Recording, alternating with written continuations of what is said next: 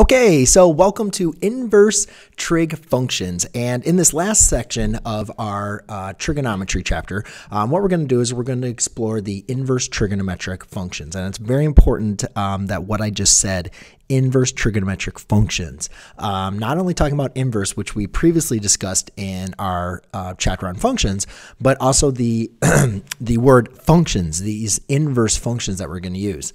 So uh, what we're going to do is we're just going to go ahead and start with, you know, a warm up to kind of introduce us again to the inverse operation or the inverse functions that we had previously discussed.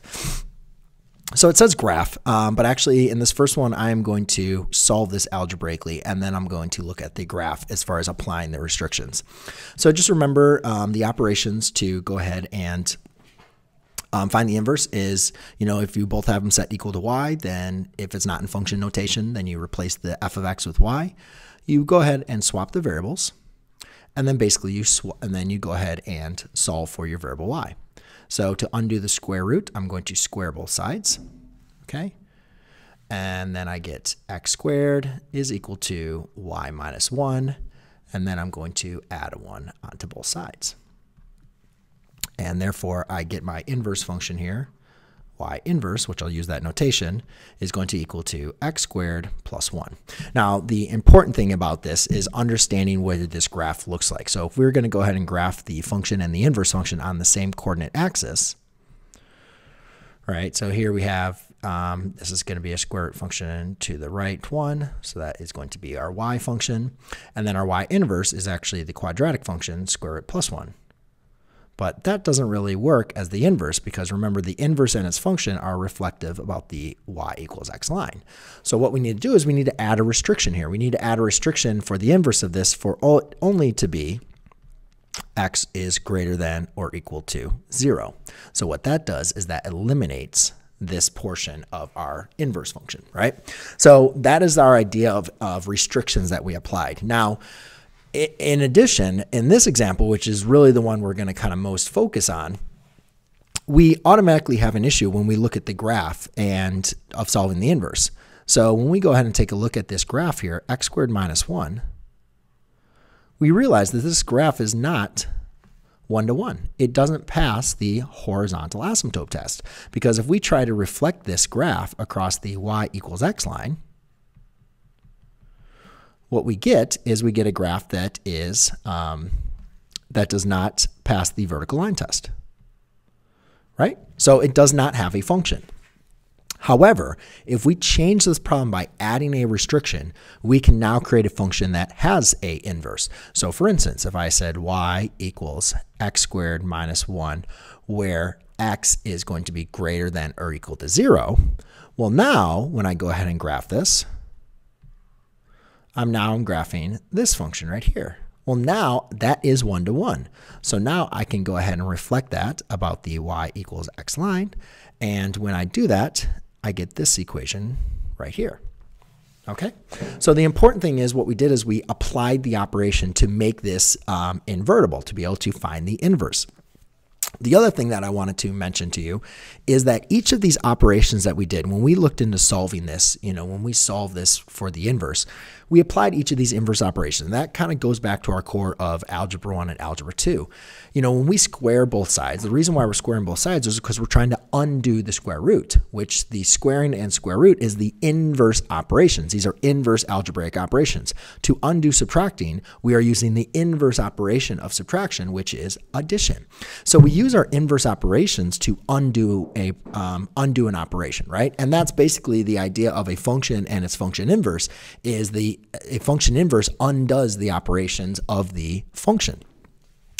So we want to kind of take that point, and then our other point that we want to take, if a function is not invertible, meaning you do not have its inverse, you can apply certain restrictions. Now, this isn't the only restriction we could have applied. We also could have said, well, why don't we just do, you know, x squared minus 1 and then x is less than or equal to 0. Or we could have done y is equal to x squared, you know, minus 1. And then we could say, well, the restriction here is going to be from, you know, 0 to, you know, I don't know, 2. Like you can make any restriction up, right? And obviously, if you didn't have the restriction, though, you did not have a inverse. So that was the important thing is we needed to have a um, a, a restriction on there. And again, that only works for in functions when they are not one to one. But that causes a problem when we look at our trigonometric functions because we realize for all of these trigonometric functions, they are none of them are one to one. They all fail the horizontal asymptote test. So then the question comes into, you know, we can go ahead and try to apply, um, you know, reflecting these about the y equals x line to kind of see what they're going to look like but they're not going to have an inverse. And I'm going to try to do my best here of reflecting these across the y equals x line. I'm going to change this to 1 and negative 1 because the scale of this graph is off. So let's just change this to negative 1 and positive 1. Okay, so if I was to take this graph, right, and basically invert this across the y, or flip this across the y equals x line, then I'm basically going to um, go ahead and, or actually, let's do it up here. Sorry. If I take this graph and reflect this about the y equals x line, take this graph and reflect it about the y equals x line, and this one. So let's actually undo this. Actually, I'm going to leave my y or my scale there because I still want the scale to be there. Okay, what is this graph now going to go ahead and look like? Like that's kind of the important thing. And what we can kind of see here is remember we know these asymptotes here is at pi halves. This is for the tangent function. And at negative pi halves, right? So if we were to go ahead and uh, invert this, So we know the asymptotes. I guess I'll just put it there. We know these asymptotes for here, this asymptote and this asymptote occur at negative pi halves and at pi halves. So if I go ahead and invert this, I'm going to have an equation that's going to look something like this.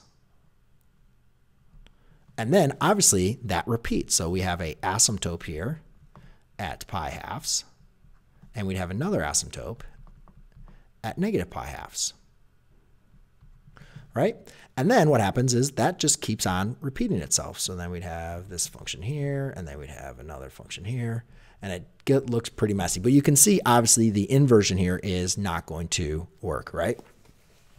Um, in the same respect here, if I was to go ahead and flip this graph across the y equals x line, all right, um, I'm trying to see as far as my cosine graph, I always get these. These are always like so different. this point goes like right here, oh, this, oh, that's, oh, it's kind of difficult here because that's not your one, but this graph, these would be reflected. So it's going to look something like this.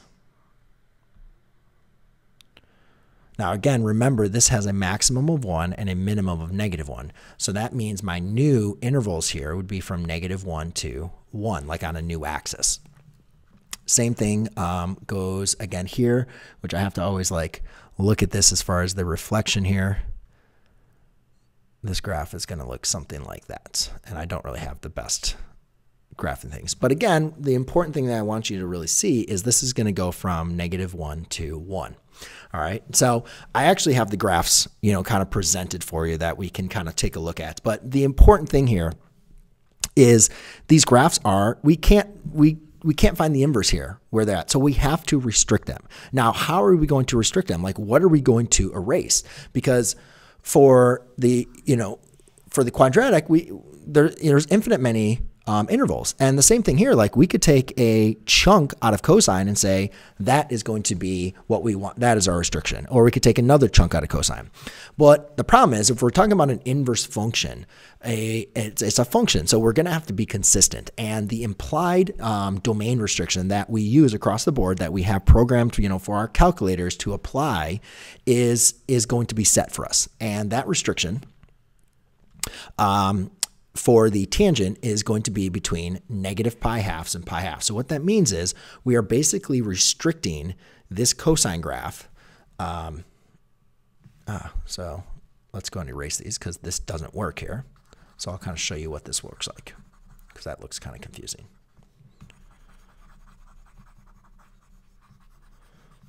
So what we do is we're going to restrict the uh, tangent graph. Oh, I wrote that wrong. I can't believe I didn't notice that. That's tangent and that's sine.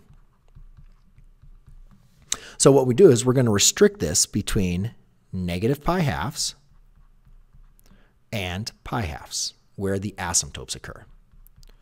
So therefore, all the rest of this we are not going to include. We are only going to look at the domain, we're only going to look at the domain of tangent between negative pi halves and pi halves. So now, when I go ahead and invert this, I'm now going to have a graph that's going to look like this. And now you can see that that is a vertical line. And that is going to go as high as pi halves and as low as negative pi halves. Okay in the same so now when looking at the domain here so this is going to be your graph of this is y equals our tangent inverse. And that is a tangent inverse function right? So that's important. That's why it has to pass that vertical line test. And when we look at this we can um, actually I already talked about the domain range don't I? Oh well, just going right in there. So the domain here of this function is from negative infinity to infinity and the range, though, is from negative pi halves to pi halves. All right? Now let's go and look at cosine. Where can we restrict cosine? So therefore, it is going to be um, always going to have an invertible function. And the way that we're, what we're going to do is we're going to restrict it from 0 to pi. I guess that was my point here. That or that would have been 0. That would have been 2 pi. Here's pi. There you go. So we're going to restrict, uh, let's write it from there. We're going to restrict it from 0 to pi. So now when we invert this, so when we go ahead and invert that, what we're going to get is we're going to get a inverse function graph that's going to look like this. All right. And again, you can see that's going to go like the max and the min here is from 1 to 1. So when we invert this, when we reflect this about the y-axis, it's going to go from 1 to negative 1. The lowest point now is going to be from 0 to pi. So when we look at the domain here, our domain is going to be from negative 1 to 1. And our range, which is the restricted domain from our cosine function, is going to be now restricted from 0 to pi. Okay? Um, so this is going to be our y equals cosine inverse graph. And then let's go and look at sine. And the implied um, restriction for sine is going to be between negative pi halves and pi halves. So I'll say pi halves and negative pi halves. And I'll do pi to 0. So when we take this function and we reflect it about the y equals x-axis, now what we're going to get is we're going to get an angle, or we're going to get a function that's going to look something like this. I'll try to, yeah, I'll pick it from there. That again is going to go as low as negative pi halves all the way up to pi halves. So that is, if you take this function and reflect it about the y equals x line, that is what you'd get. Again, discounting the rest of this function. Just taking between negative pi halves and pi halves. Again, discounting the rest of this function. Just taking between 0 and pi. So when we look at this here, the domain of this function is again going to be from negative 1 to 1. But the range, which is from the restriction of sine, is going to be from negative pi halves to pi halves. Okay, so that is going to be your what your inverse function for sine looks like. All right. So now why what does all this mean? So again, the inverse cosine, inverse sine, inverse tan, we use this like kind of negative one as our notation, but we could also use arc cosine. We could also use arc sine and arc tan. Okay. Um, obviously, that does not include there's asymptotes there. So the important thing though is that it has we're dealing with a restriction, right? So these inverse functions, the range is restricted from the original function because the original functions, you know, had no restrictions. And so therefore they had no inverse. So we had to restrict the domain of the um, trigonometric functions so therefore we can find the inverse. So it's very important when we're thinking about these inverse, we are dealing with a restriction. And another way that I like to kind of look at this is in terms of like, let's look at um, let's look at the restrictions of theta. Okay, so the restrictions of theta is basically like the restrictions of our range here. So if we're going to go back to like the unit circle, all right, so I'm just going to say like your theta restrictions.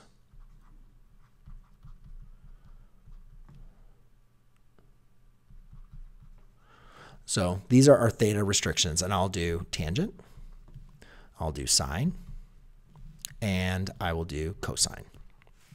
All right. So when we're looking at the theta restrictions of our of an angle, if we're trying to evaluate the inverse um, inverse tangent, for instance, well, you know, if I'm trying to do the tangent inverse of some value, then I have a restriction on the tangent function, and the restrictions on that angle has to be between negative pi halves and pi halves, basically meaning that that angle has to fall within the first and the fourth quadrant. And again, look at it. We restricted, we're restricting the tangent of x between negative pi halves and pi halves. Well, when you look at that in terms of like the unit circle, the angle negative pi halves to pi halves is angles, any angles within the first and the fourth quadrant. When you look at this in terms of sine, let's see, well, how did we restrict sine? we decided to restrict sine again also between negative pi halves and pi halves. And again, that is to make this a vertical have pass invertible. So if we restrict the the sine function between negative pi halves and pi halves so we can evaluate the sine inverse, that again is going to restrict our angles for inverse of sine, for sine inverse, to be between the first and the fourth quadrant. However, Cosine's different because if we restricted cosine between negative pi halves and pi halves, when we reflect that, you'd see it wouldn't pass the vertical line test. So therefore, the implied, do, implied domain restriction for cosine is between 0 and pi. So when we're looking at cosine inverse, we're dealing with a restricted domain from cosine of 0 to pi. And if we look at 0 to pi on the unit circle, we see that uh, that is in the first two quadrants. Okay. Now, I think of these restrictions as like, um, it's kind of like the cage. Like you can't leave. You have to stay within there because again, you know, it's like going, you know, going back again to this original warm up problem. Like we could not do anything with x squared unless we applied one of these restrictions, right? We, we could not find the inverse of an x squared problem unless we applied a restriction. All right. So, and now in each of these problems, we, we gave it an, an, an we gave it a restriction and then we could go ahead and work through the problem. So, but once we have that restriction, you know, then we can go ahead and work on it. But we have to still remain within that restriction, right? We can't like say, okay, here's my restriction, but then I'm now not gonna not gonna use that restriction at all. Like that restriction stays with your invertible function when you find the inverse. That is the same case here. Like we have these restrictions, like for the sine, cosine, tangent, we have to restrict them. So therefore we can obtain the tangent inverse, cosine inverse, and sine inverse. But how we restricted them, negative pi halves to pi halves, zero to pi, and negative pi halves to pi halves remains with these inverse functions.